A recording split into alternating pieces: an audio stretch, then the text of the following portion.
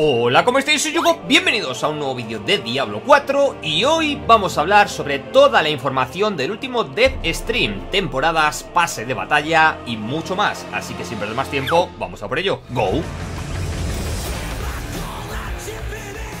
Bueno gente, tenemos mucha información que comentar del pasado Death Stream de Diablo 4, objetivos de temporada, bendiciones de temporada, pase de batalla con sus respectivos precios y mucha más información que ampliaron desde sus cuentas oficiales también tras terminar el directo. Además, para aquellos que todavía no hayáis comprado el juego, os recuerdo que actualmente la forma que tenemos de obtener la mayor rebaja es mediante las tarjetas de carga de saldo en las diferentes plataformas. Dependiendo de si estáis comprando para Battle.net, para PlayStation o para Xbox, tendréis más o menos descuento. Además de Diablo 4 y las tarjetas de carga de saldo, podréis encontrar un amplio catálogo siempre con todas las novedades y grandes ofertas.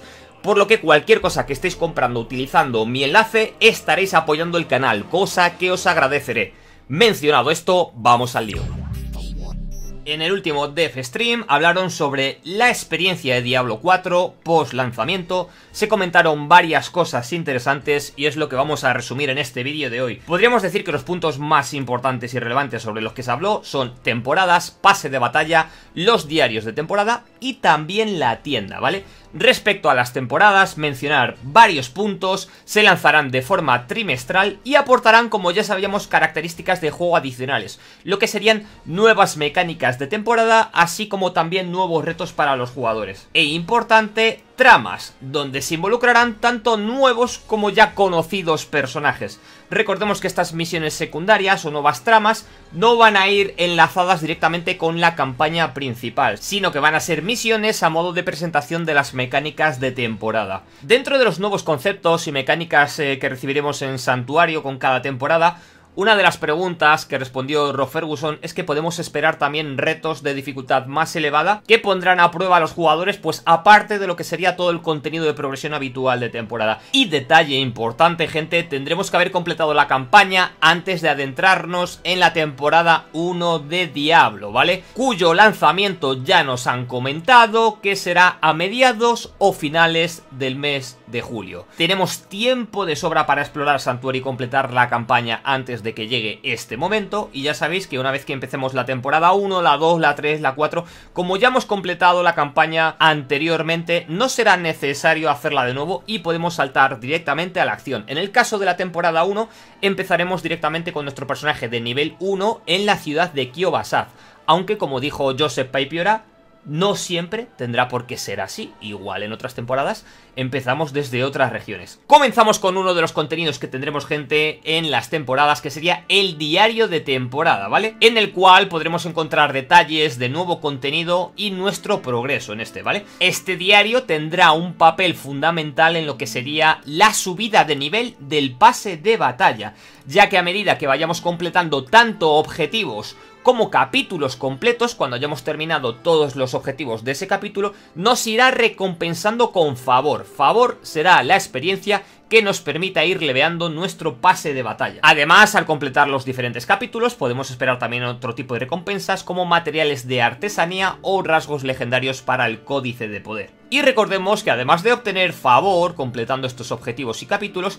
también podremos conseguirlo completando búsquedas, acabando con enemigos y participando en eventos, entre otras muchas formas. Mencionado el diario de temporada, pasaríamos al siguiente punto, pases de batalla, como veis está todo relacionado entre sí, cada temporada contará con su propio pase de batalla con el que conseguiremos recompensas. Estos pases estarán compuestos por 27 recompensas gratuitas y 63 recompensas premium, que si os dais cuenta, juntas suman 90 recompensas, que serán los niveles que tendremos para ir avanzando en el pase de batalla cada temporada, ¿vale? Temporadas que duran 3 meses, recuerdo. A medida que vayamos asesinando demonios, conseguiremos cosméticos y cenizas humeantes como recompensas gratuitas. Cenizas humeantes que serán un recurso que podremos utilizar para obtener bendiciones de temporada. Estas bendiciones nos van a otorgar mejoras como ganancia de experiencia, oro u óvulos, según la bendición que hayamos escogido gastando nuestras cenizas. E importante, se puede tener más de una bendición activa por temporada, podremos ir leveando cada una de las bendiciones hasta un máximo de nivel 4 y sus efectos nos acompañarán durante toda la temporada actual, ¿vale? Una vez que termine la temporada, lógicamente se terminarán con ella las bendiciones de temporada. Además, otro punto muy importante que también nos mencionaron, como las bendiciones de temporada afectan directamente a la experiencia de juego, estas van a tener un requisito de nivel de personaje, como habréis visto en la imagen anterior, que nos aparecía un candado encima de cada una de estas recompensas de cenizas humeantes, para que no las podamos desbloquear hasta que hayamos alcanzado ese nivel con el personaje. Está hecho de esta manera para que sea un método con el cual se puedan asegurar de que comprar saltos de nivel en el pase de batalla no otorgue ninguna ventaja a los jugadores respecto a los que no lo puedan comprar. Además, quiero recordar que otra de las preguntas que han estado respondiendo desde Twitter es que vamos a ganar exactamente la misma cantidad de cenizas humeantes con el pase de batalla gratuito que con el premium. Así que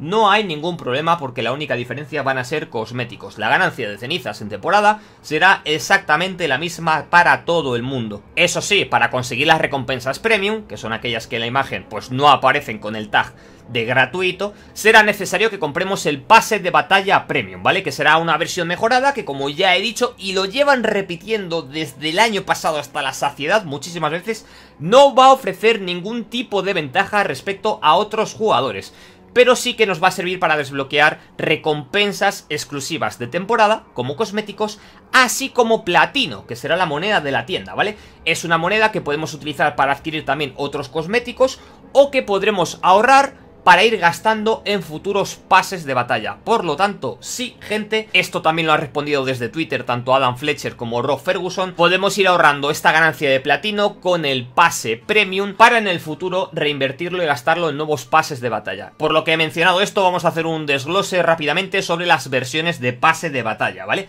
Tenemos primero el pase de batalla gratuito, que será el pase de batalla normal y accesible para todos los jugadores, el pase de batalla premium, que costará 1000 de platino, lo equivalente a 9,99 euros, gente. La verdad es que cuando mencionaron esto en el directo y luego ya lo vimos, porque claro, dependiendo de la región, siempre nos lo dicen, ¿no?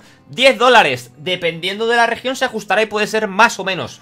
Digo, nos van a clavar la de siempre, en Europa siempre nos toca, nos van a hacer una subidita, 12, 15, no lo sé en el momento en que lo vi ya publicado en la web, 9.99 me puse muy contento. Me parece la verdad un precio bastante asequible, teniendo en cuenta que su duración es de 3 meses y además nos dará acceso directamente a dos conjuntos de armadura cosméticas para todas las clases. O sea, una absoluta burrada. Creo que va a ser lo más worth de toda la tienda que vamos a tener en Diablo 4. Y luego tendríamos el pase de batalla acelerado que incluye todas las ventajas del pase de batalla premium, además 20 saltos de nivel y un cosmético especial, ¿vale? El pase de batalla acelerado sería también el que viene incluido en la edición Ultimate. En este caso, el cosmético especial que acompaña los 20 saltos de nivel sería un emote para la temporada 1, como ya bien sabemos. Pero esto irá variando de temporada a temporada. Eso sí, cuesta 2800 de platino, lo equivalente a 24,99 euros. Además de todo esto, hablaron un poco por encima de la tienda y los cosméticos, ya que en el periodo fuera de temporada, lo que es desde que salga el juego en junio, 2 con el acceso anticipado el día 6 para el resto del mundo, solo vamos a tener accesible la tienda, o sea, todas las recompensas de pase de batalla tendremos que esperar a que empiece la temporada 1 allá por mediados, finales de julio. Mientras tanto, podremos ir adquiriendo diferentes tipos de cosméticos desde la tienda utilizando la moneda de platino que también nos han dicho, dato importante gente, que el platino solo se puede acceder a él como moneda de pago, ¿vale? Por lo tanto es una moneda de uso exclusivo si la compramos. Pero nuevamente, vuelvo a repetir, nos pusieron un montón de ejemplos de cosméticos de los que podemos conseguir desde la tienda y de los que podemos conseguir in-game, simplemente farmeando. La ventaja de todo lo que compremos desde la tienda va a ser simplemente una ventaja estética, visual no va a dar ningún tipo de beneficio ni de estadística, más allá de lo que estamos viendo, nuestra apariencia. Y aprovechando que os estaré dejando algunas imágenes para que vayáis haciendo pues la comparativa que nos enseñaron en el directo, ¿no? De tanto skins que se pueden conseguir in-game como las de la tienda algunas preguntas bastante interesantes que han dejado eh, por Twitter y han respondido. Por ejemplo, ¿se puede devolver una bendición de temporada para recuperar las cenizas humeantes y gastarlas en una bendición diferente? Muy buena pregunta, es decir, si yo por ejemplo empiezo la temporada gastando las cenizas en subirme la bendición que me da ganancia de experiencia adicional, pero llega un punto en el que ya no quiero este bono de experiencia adicional, ¿puedo revertir este efecto y que me devuelvan las cenizas para gastarlo en otro bosteo? Sí, lo vamos a poder hacer, nos dice Adam Fletcher, eso sí, tendrá un coste de oro, y este coste de oro se irá incrementando cada vez que elijamos devolver los efectos. Además, otra de las cosas que también mencionaron en el directo, pero lo han preguntado por Twitter, los cosméticos conseguidos desde el pase de batalla serán limitados a una sola clase o se podrán utilizar en todas las clases de la cuenta. Y nos comenta Adam Fletcher nuevamente, en cuanto desbloquees una pieza de armadura en el pase de batalla, desbloquearás esa parte para cada una de las 5 clases. Es por eso que la imagen de las recompensas que compartimos, que la estaré poniendo aquí para que nos fijemos, se ve como un mazo de cartas, porque tenemos las recompensas una detrás de otra para cada una de las clases jugables de Diablo 4. Además, por si hubiese quedado alguna duda, también quiero leer esta pregunta, la cantidad de platino obtenida durante el pase de batalla será suficiente para comprar el siguiente pase, nos dice Adam Fletcher que no será suficiente, pero que podremos utilizar el platino, como ya os he mencionado durante el vídeo, para comprar próximos pases de batalla, aunque no ganaremos lo suficiente para cubrir cada pase de batalla con el anterior, ¿vale? Por si hubiese quedado alguna duda. Y otra pregunta que se está repitiendo bastante por parte de la comunidad, todavía hay gente que anda un poco perdida, que incluso piensa que sus personajes cuando terminan la temporada se borran y desaparecen del todo. Cuando comienza una nueva temporada, los personajes de la temporada anterior serán transferidos al juego normal ¿Y tendremos que crear uno nuevo en siguientes temporadas? Y nos contesta Rod Ferguson, sí, efectivamente, los personajes de temporadas previas se moverán al reino eterno, ¿vale? Y podremos jugar con ellos en cualquier momento y entonces podremos crear nuevos personajes al inicio de cada nueva temporada. La verdad que en general muy buenas noticias gente, todo lo que enseñaron y todo lo que os he comentado durante el vídeo, tanto precios, cosméticos, sistema de bendiciones, contenido que tienen pensado ir implementando. Lo único que se nos puede quedar ahí un poco una espinita es que tendremos que esperar todavía bastante hasta el inicio de eh, esa primera temporada, ¿no? A mediados o finales de julio. Y lo he querido dejar aquí para el final del vídeo, para comentarlo también como un punto un poco más amargo es que no tendremos sistema de clasificaciones, lo que son las tablas de clasificación, ni durante la primera temporada, ni durante la segunda temporada tampoco, probablemente. Ya nos han dicho que es un tipo de contenido que requiere muchos ajustes y mucho trabajo, más del que creemos, pero que quieren que lo tengamos disponible cuanto antes sea posible. Así que cuando salga el juego en junio, a disfrutar, a completar todo el contenido, primera temporada a disfrutarla, completar objetivos, terminar el pase de batalla sin la presión de tener que rusear ni de que estemos compitiendo contra otros jugadores. Espero que os haya gustado el vídeo, gente, que os haya sido de utilidad. Si es así, no olvidéis dejar vuestro like como siempre, suscribiros al canal para no perderos nada relacionado con Diablo 4. Cualquier cosa que queréis añadir podéis hacerlo aquí abajo en la cajita de comentarios, como qué os ha parecido el tema de precios, qué os ha parecido los cosméticos, si hay algo que os haya llamado la atención. Y por supuesto también podéis hacerlo a través de mi Twitter, arroba Games con 3 y y mi Twitch, donde estaremos toda la beta jugando todas las tardes, noches y por supuesto tras el lanzamiento por descontado, gente, no hace falta ni decirlo. Estaremos ahí a full desde que esté disponible Diablo 4. ¿Que cuál es mi canal de Twitch? Que no lo he dicho. Bueno, si a estas alturas todavía alguien no lo sabe, yo con 3y barra baja TV. Podéis pasaros por allí cuando queráis. Por supuesto os dejaré el enlace a la noticia también en el comentario. Y dicho todo esto, me despido, pero tan solo hasta la próxima. Adiós. Devuelto al infierno. A por ti.